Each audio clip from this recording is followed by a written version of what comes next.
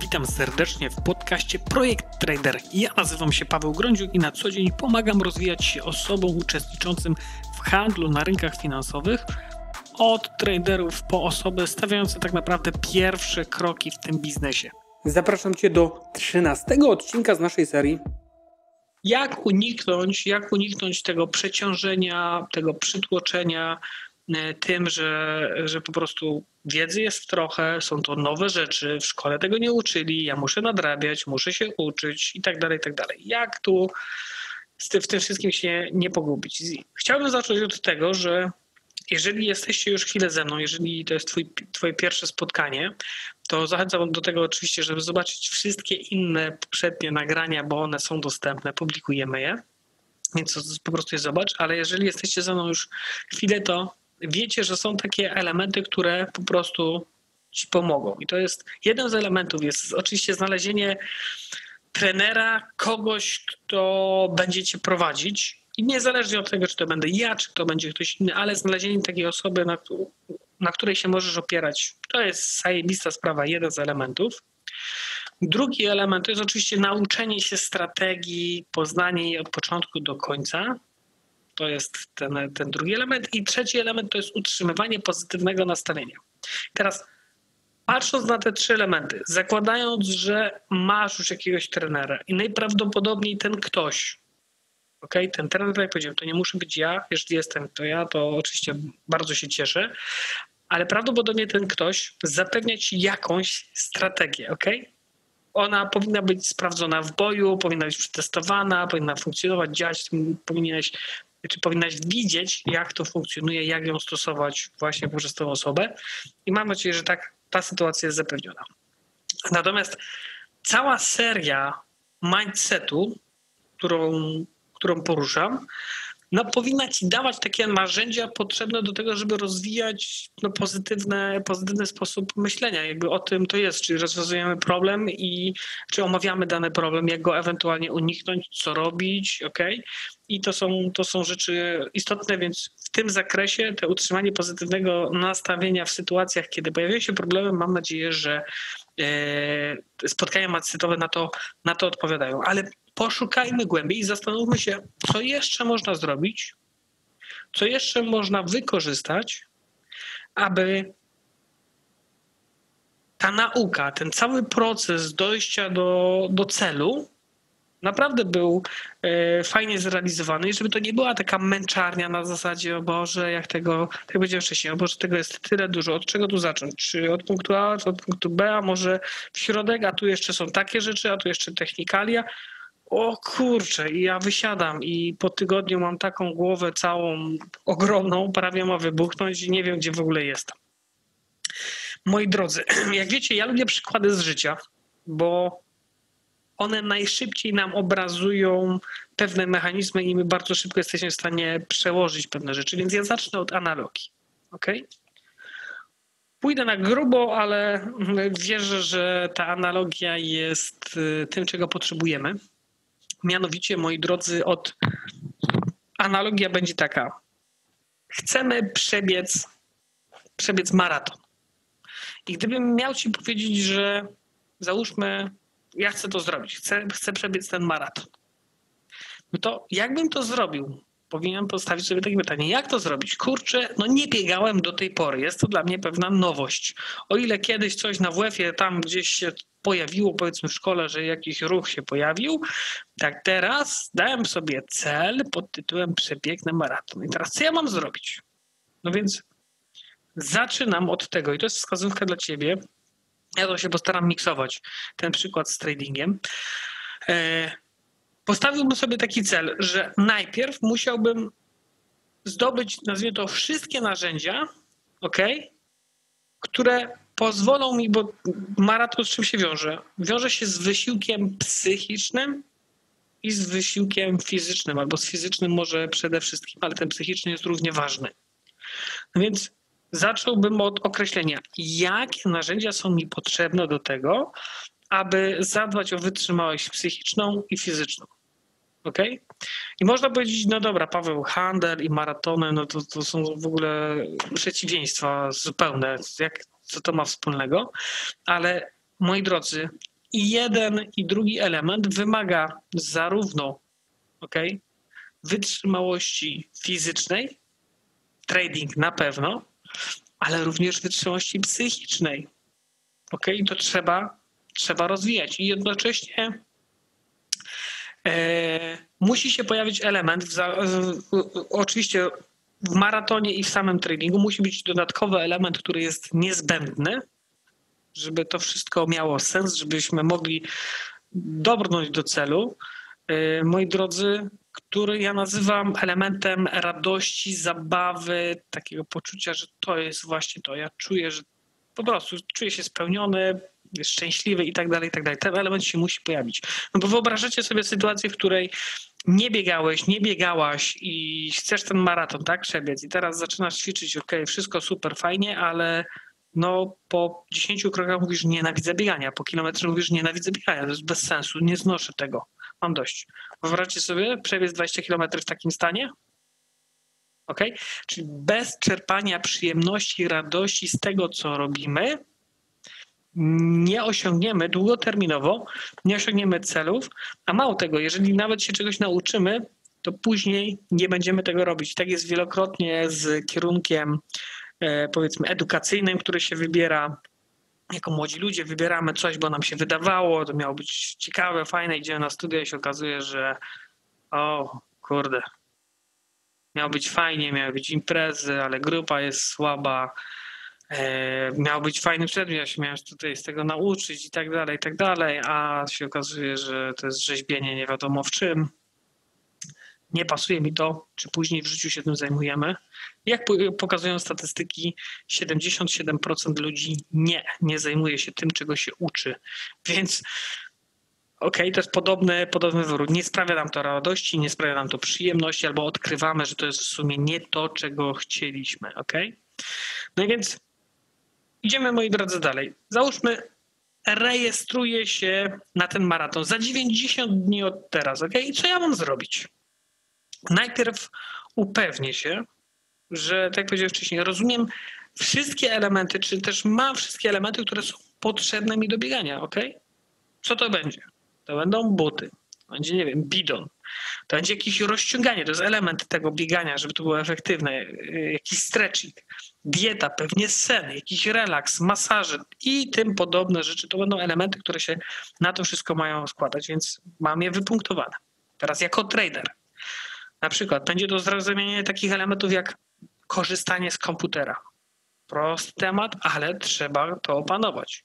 ok? oprogramowanie do tradingu, do handlu.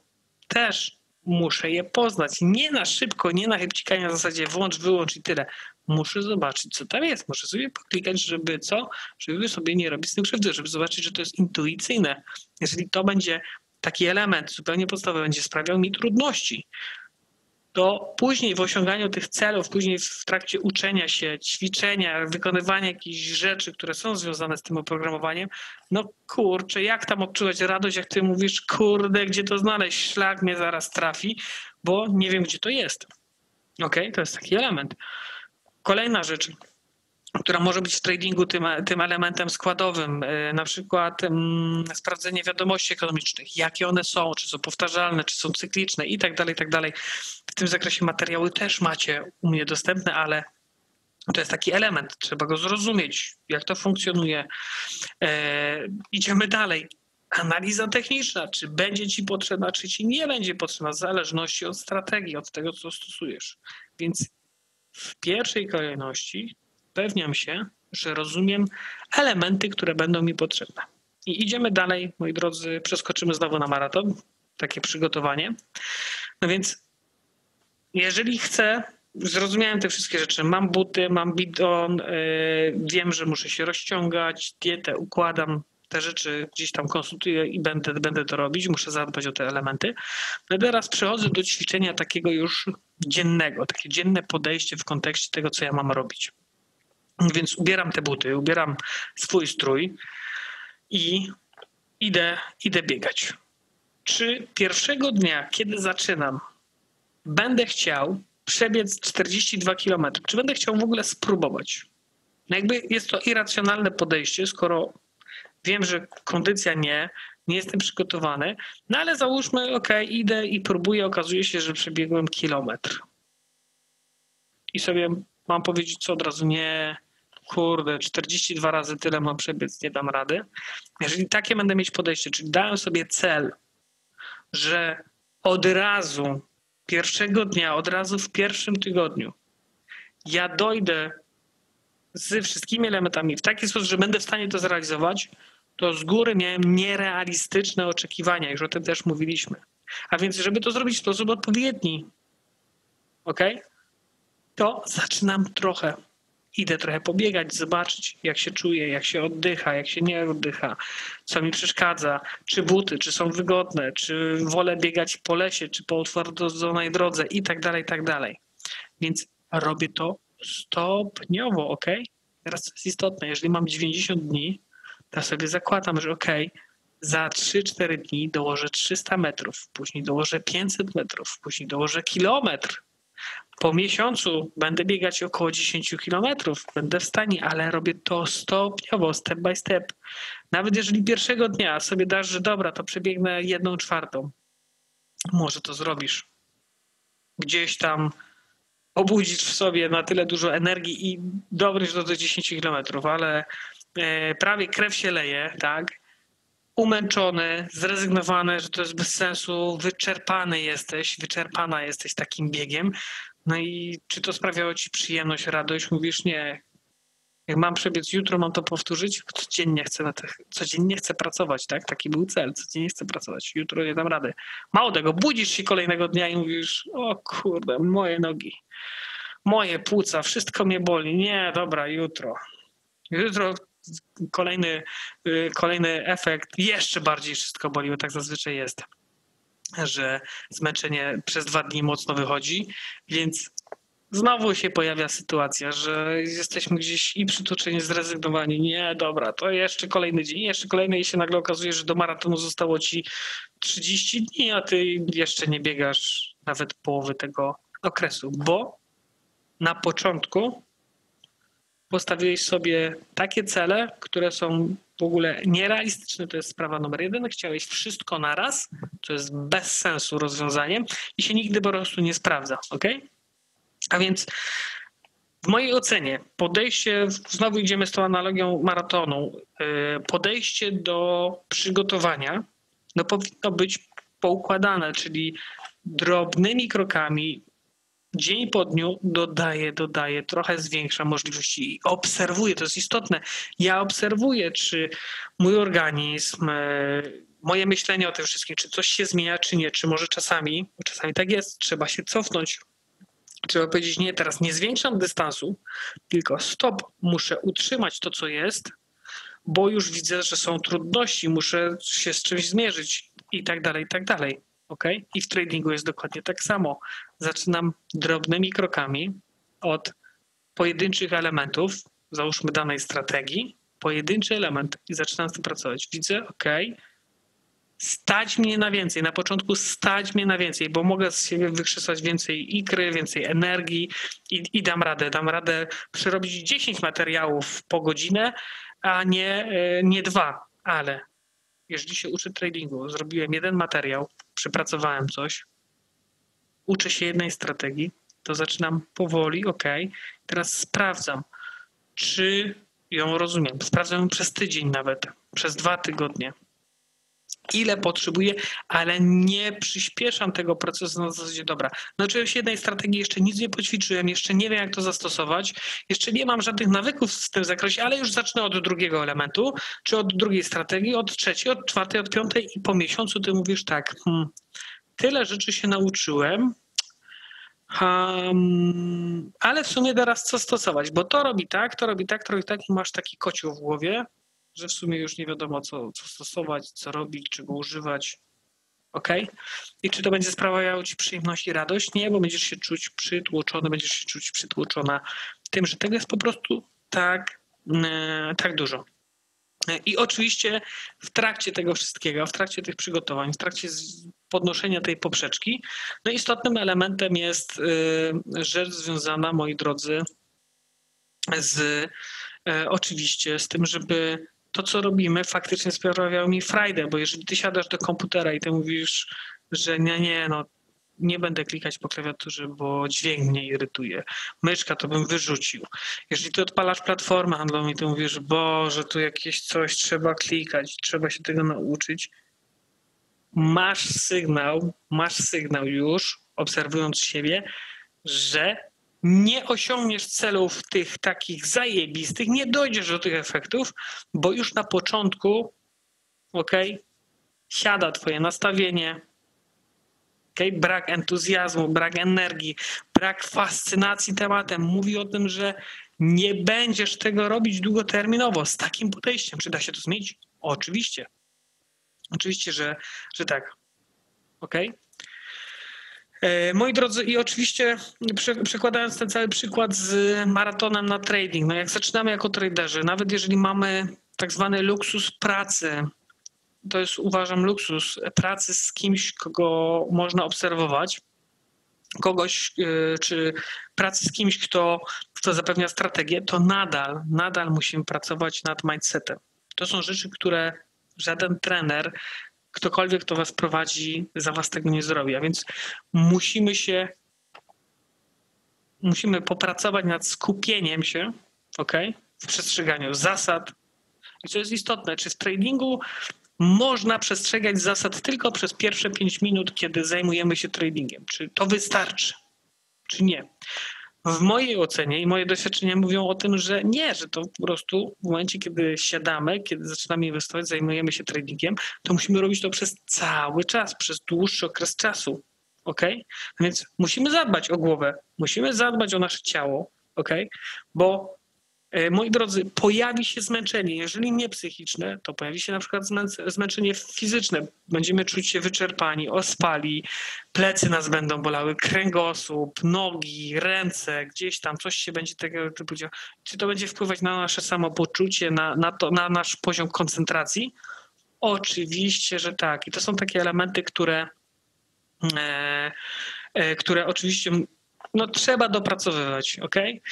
I Moi drodzy, z, tak powiedziałem, z mojego doświadczenia wynika, że day trading, bo to jest coś, co, co my robimy, raczej skupiamy się na dziennym takim handlu, który ma mieć dzisiaj swój finał, czyli pozycje, które otwieramy, oczekujemy, że one jednak dzisiaj będą się realizowały. Takie jest jakby podejście i założenie w day tradingu.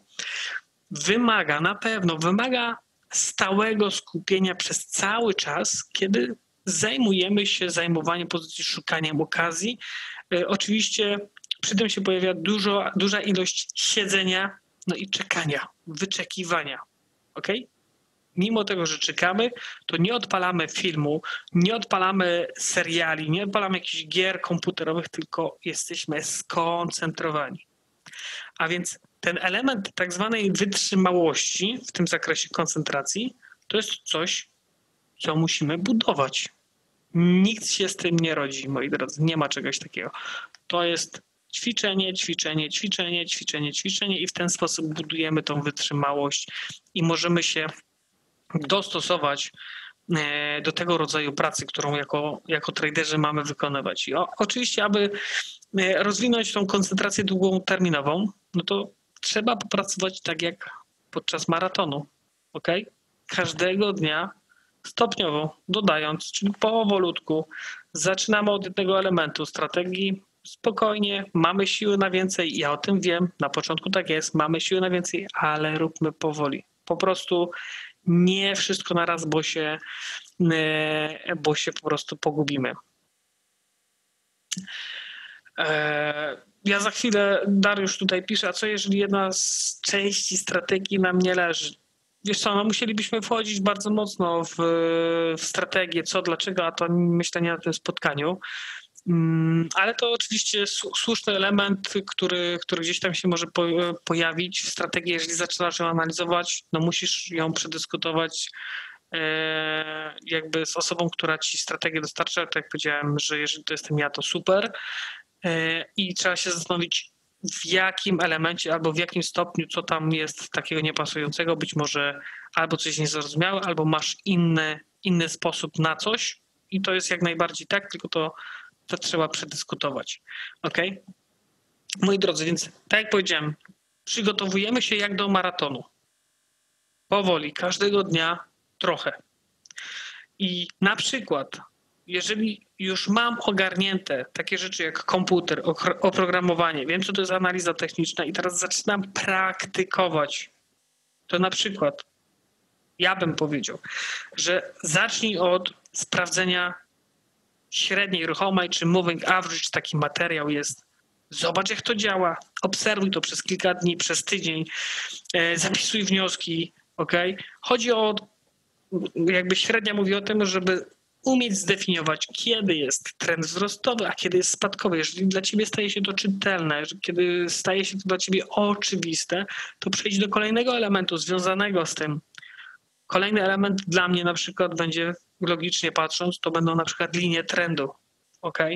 Dokładam i znowu kilka dni daję sobie na to, żeby to obserwować, żeby zobaczyć, jak to funkcjonuje, czy dobrze to wyznaczam, czy nie. A nie na zasadzie przerobiłem materiał średni, ok, średnia, uruchomiłem średnią na wykresie. O jest, dobra. Co w związku z tym? No nic, no, działa. Średnia się wyświetla, ekstra. Teraz idę do kolejnego i kolejny, kolejny element strategii przerabiam. Aha, dobra, wyświetla się szybko, pach, pach, jeden dzień sobie sprawdziłem bieżącą sytuację, no dobra, mniej więcej mam. Super. Kolejny element, kolejny element, kolejny element. Masz wrażenie, że przerobiłeś ogrom wiedzy albo ileś tam treści, a się okazuje, że w sumie huh, jak na tej podstawie teraz ja mam zdecydować, co zrobić? Kurde, nie wiem. Niby było w tym materiale, ja czasami się uśmiecham, jak pytam, e, jak ktoś mi tam pisze o, o coś, czy dobrze to zaznaczył, ja mówię, a czy sprawdziłeś dobrze materiał, czy przepracowałeś go sobie, czy zrobiłeś zadania domowe. No wiesz, przerobiłem materiał. Ja mówię, aha, aha, a kojarzysz na przykład stwierdzenie takie takie, no, no nie do końca, nie wiem, czy to było, czy nie było. Ja mówię, no sprawdźmy to w materiale. A, bo ja słuchałem na trzykrotnym, czterokrotnym przyspieszeniu. Super, zajebiście. Czyli byle szybciej. Nie, żeby to zrobić dobrze, tylko byle szybciej. To jest element, który oczywiście no nie będzie, nie będzie ci pozwalać się w tym wszystkim odnaleźć, jeżeli ty to będziesz robić tak na łapu capu, po prostu. Jeżeli są zadania jakieś do wykonania, to one nie są po to, żeby komuś uprzykrzyć życie albo żeby cię spowalniać w twoim rozwoju, tylko one są po to, żeby usystematyzować wiedzę. Jeżeli ty oglądasz jeden materiał, nie robisz ćwiczeń, przechodzisz do kolejnego, uwaga, masz pierwszy element, w którym wykładasz się. I długoterminowo takie podejście do ćwiczenia, do nauki nie zadziała, bo ty mówisz, dobra, przyjdzie weekend albo za dwa dni usiądę do ćwiczeń. No to tak jak ja bym sobie rozpisał przygotowanie do maratonu, mówię, o, w tygodniu muszę cztery razy pobiegać. I załóżmy, niech to będzie wtorek, środa, czwartek, sobota, niedziela. No i jest wtorek. Mówię, e, dobra, miał, być środa, czwartek, piątek jest wolny, to dzisiaj mi się nie chce, to na piątek sobie pobiegam. I przekładam. W środę mówię, dobra, to jeszcze to tam na poniedziałek, zacznę w poniedziałek, nic nie miałem, to jeszcze w poniedziałek. I tak dalej, i tak dalej. Nie, no skoro zrobiłem plan, skoro jest jakiś plan, poukładane to jest, to robię po kolei. I robię to w taki sposób, żeby to było dla mnie zrozumiałe. W tradingu, moi drodzy, kluczowa rzecz. W bieganiu szybciej dowiemy się, czy nam sprawia to frajdę, czy też nie. W tradingu, w momencie, kiedy się nauczyliśmy, zdobyliśmy jakąś informację, którą możemy zacząć wykorzystywać, trzeba zobaczyć, a czy umiem, czy potrafię, czy też nie. Jeżeli nie potrafię, to doprecyzować, w czym leży problem. Jeżeli ktoś ci może w tym pomóc, super. Przepraszam. Ktoś ci w tym może pomóc, to super. Możesz to skonsultować. Zajebiście, tak? Ale ty musisz wiedzieć, jak z danego elementu korzystać i co jest istotne. W momencie, kiedy zaczynasz z tego korzystać, to musisz mieć poczucie, e, okej, okay, działa, rozumiem, jest fajne, sprawia mi to przyjemność, że mogę, mogę z tego korzystać. A jeżeli ty masz takie myślenie na zasadzie, załóżmy, odnosząc się do tej średniej, o której powiedziałem, obejrzałem materiał średniej. Kurwa, po co mi ta średnia? Ja pierdykam, bez sensu. To w ogóle do niczego nie pasuje, to jest bez sensu. Kto to wymyślił i po co w ogóle, załóżmy, Paweł o tym mówi w materiale, tego się nie da używać. Ale sobie zapisujesz, materiał przerobiłem szybko, nie zrobiłem zadania domowego. Później przychodzisz na sesje live tradingowe, na których na przykład używamy średniej a czemu na średniej zagrywacie tak i tak i tak? A czemu nie można było zagrać pod średnią? Nie, bez sensu wyczekana pozycja, może można było zagrać szybciej, wolniej i tak dalej, i tak dalej. Jeżeli w ten sposób będziemy postępować, długoterminowo, na pewno nie będziesz czuć komfortu e, w, w, i powiedzmy i w tradingu, i w takiej pracy po prostu. Więc w momencie, kiedy pracujemy, moi drodzy, w momencie, kiedy się uczymy, w momencie, kiedy rozwijamy się jako traderzy, robiąc to po kolei w sposób zaplanowany, nie wszystko na hura, możemy obserwować, ok, to jest dla mnie przejrzyste, to jest dla mnie zrozumiałe, to nie powoduje frustracji, to mnie cieszy, że mam takie, a nie narzędzia, to, że mam taką inną wiedzę i jeżeli widzisz, że jest ok, wszystko, wszystko wygląda dobrze, to idziesz dalej. Natomiast jeżeli się pojawia frustracja z tytułu tego niezrozumienia na przykład, najczęściej z niezrozumienia tematu, pojawia się jakieś wyzwanie techniczne, czasami to jest dla mnie zrozumiałe, pojawia się wyzwanie techniczne i nie do końca się też w tym odnajdujesz. To jest zrozumiałe, że będziesz się frustrować, ale nie możesz iść do przodu z materiałem, nie możesz się rozwijać, nie możesz edukować się dalej, jeżeli na jakimś elemencie nazwijmy to podstawowym, łapiesz frustrację, bo tego typu nastawienie, ja to bardzo często tak mówię, że te takie drobne elementy, które nas gdzieś tam czasami demotywują, te drobne frustracje, takie elementy, a dobra, jakoś to pójdzie, na zasadzie takie przepychanie, wiecie o co chodzi, na siłę, przepcham do przodu na siłę, i nie, dobra, w sumie to mi to nie przeszkadza, nie? W sumie to ci nie powiem, czasami w relacjach y, damsko-męskich też. A wiesz co, w sumie nie ma znaczenia, co ja ci tam będę gadać, nie? Ja, ja bardzo mocno zwracam uwagę, jak to gdzieś tam y, jestem u kogoś, ktoś do, do siebie mówi, y, powiedzmy para, załóżmy partnerka, czy tam dziewczyna mówi do chłopaka, coś tam, jak to się mówi, bąknie pod nosem i to jest czasami jakaś ważna rzecz, tak przynajmniej jak się słyszy. A on pyta, słuchaj, ale wiesz co, nie, nie słyszałem, jakbyś mogła powtórzyć, nie? Co, co, co powiedzieć, bo nie słyszałem, nie? A nie, nie, w sumie nic, w sumie nic, nie? Okej, okay, coś chcieliśmy zakomunikować, coś chcieliśmy zrobić i to, jak mówię, to jest takie przypomnienie na siłę i każda tego typu sytuacja, moi drodzy, takie jest życie, możecie to odnieść do swoich doświadczeń, jesteście dorośli, już trochę doświadczeń macie swoich, Każde takie odkładanie dalej to jest przepychanie, ale uwaga, ten element nie znika. W pewnym momencie tych spychaczy ułoży się cała góra. Jak to się mówi, jak jebnie, to tylko raz. Po prostu tak jest. I w tradingu jest dokładnie tak samo. Jeżeli ćwiczenia robiliśmy tak na zasadzie byleby przepchać. Materiał zrobiliśmy byleby przepchać. Strategię zrobiliśmy byleby, przecież znam wszystkie założenia, Paweł, znam wszystkie założenia strategii. Ja mówię, okej, okay, punkt pierwszy, punkt ósmy, punkt dziewiąty, co w takiej sytuacji, co w takiej sytuacji? E, e, e, ja to nie wiem. No to po co mówisz, że zrobiłeś? Po co mówisz, że zrobiłaś? Nie? Przepychasz, a później masz efekt taki, że wchodzisz, czy chcesz zacząć mieć efekty, chcesz zacząć pracować z rynkiem i ty mówisz, o Boże, ile tego jest, a teraz tak. Był materiał o tym, hmm, no dobra, tutaj widzę, że miałbym, załóżmy, kupować. Był materiał o tym, ale ten materiał mówi, że mam sprzedawać. Ten materiał mówił o czymś innym.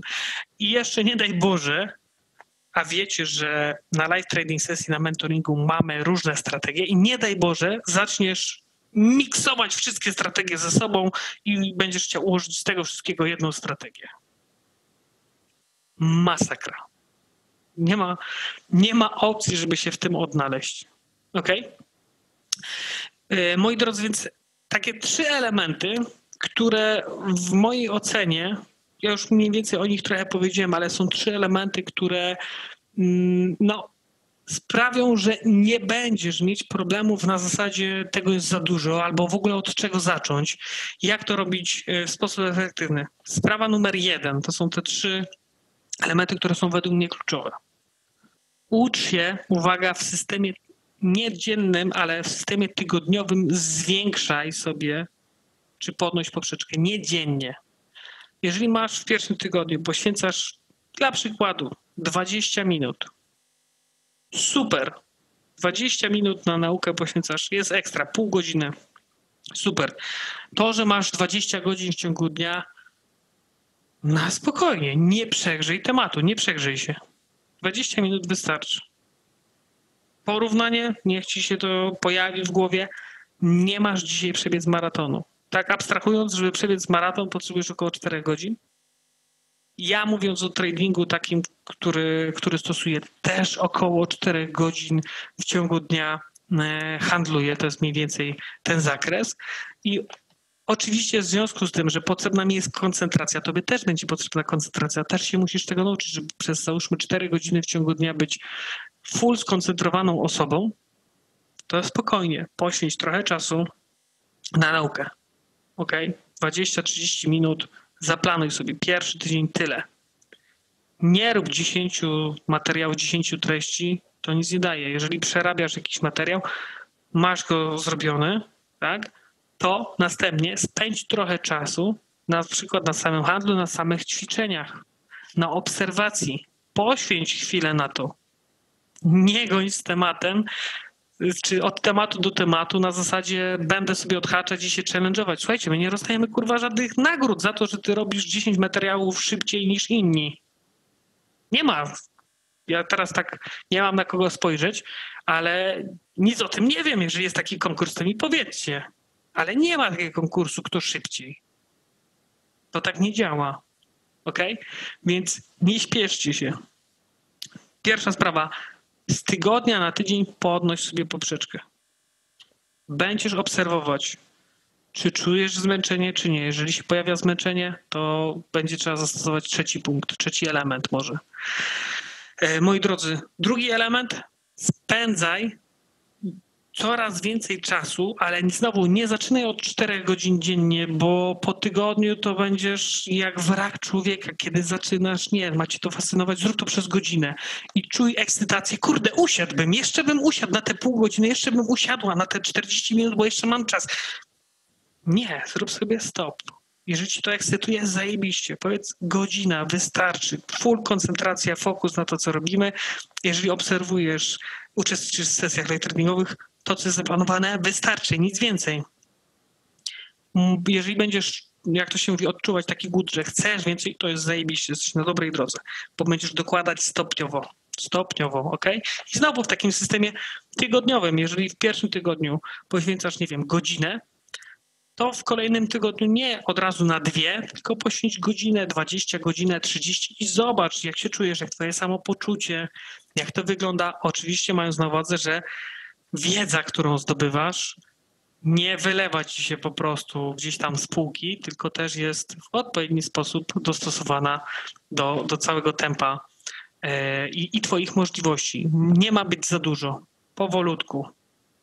Jeżeli, tak jak powiedziałem, jeżeli zaczniesz sprawdzać, oglądać, stosować wszystko, w niczym, w niczym nie będziesz dobry, w niczym nie będziesz dobra e, i wszystko zrobisz tak na łapu capu, byle by, sorry, ale efektów z tego nie będzie, y, a w zasadzie będzie jeden efekt, którego na pewno chcesz uniknąć. Będzie efekt pod tytułem strata czasu i będziesz czy będzie trzeba po prostu wrócić do początku, moi drodzy. Niestety tak, tak jest.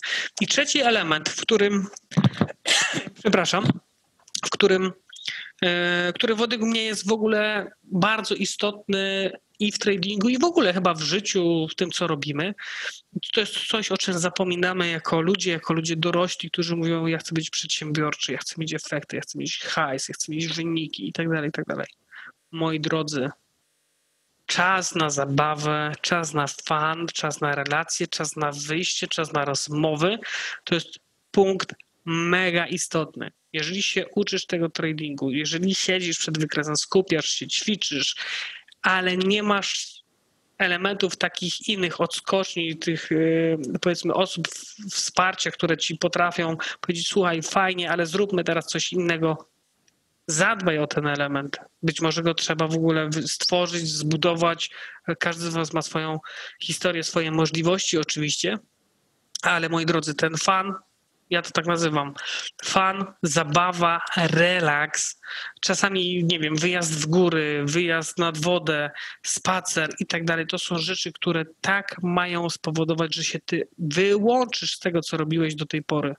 To są mega istotne punkty, o których bardzo często zapominamy, bo nas zasadzie, bo ja dam radę, bo jestem, ja jestem na tyle szalenie ambitny, że ja będę siedzieć 12 godzin i materiał i w ogóle wszystkiego się nauczę bardzo szybko. Wypalisz się, zmęczysz się, w pewnym momencie przyjdzie, przyjdzie to takie znużenie tym wszystkim, to ci nic po prostu nie da. Więc moi drodzy, tu mówimy o tej sytuacji balansuj, ok? Te wszystkie elementy. A nie, że e, zrobisz wszystko, e, wszystko naraz, najlepiej y, na wczoraj i, i, od jutra zaczniesz stosować. Tak to, po prostu tak to nie zadziała. Moi drodzy, jeszcze jedna rzecz, którą y, oczywiście chciałem zaznaczyć, że ja handlem zajmuję się od 13 lat, tak, tradingiem, inwestowaniem, jak zwał, tak zwał. I moi drodzy, te uczucie takiego zmęczenia, ale też przytłoczenia ilością materiałów, ilością wiedzy, ilością zadań, ilością rzeczy do zrobienia, to chcę powiedzieć, że to może jest element, może to jest element, który występuje, ale uwaga, jest to zagrożenie dla każdego, kto chce się tradingiem zajmować długoterminowo. Dlatego, że jeżeli tylko i wyłącznie takie uczucie się pojawia, to bardzo szybko, w zasadzie yy, taką linią pionową, przechodzimy z tego przytłoczenia na element full zmęczenia i wypalenia w tradingu. A z wypaleniem w tradingu to już jest trochę trudniejszy temat, tam jest więcej, więcej problemów, które się pojawiają, więc jeżeli jesteś na początku swojej drogi, albo w ogóle na, nawet nie chodzi na początku zdobywania wiedzy na temat tradingu, ale jeżeli uczysz się, a uczysz się jeszcze ze mną dodatkowo, to nie doprowadzaj do sytuacji takiej, że masz takie wrażenie albo odczuwasz coś takiego, że właśnie jest tego bardzo dużo. To już wszystko, jeżeli chodzi o ten odcinek. Dziękuję, że zostałeś ze mną do samego końca. Wiele dodatkowych treści znajdziesz również na naszym kanale YouTube, profilu Instagram czy też fanpage'u na Facebooku. Zachęcam do obserwowania i do usłyszenia w kolejnym odcinku. Cześć!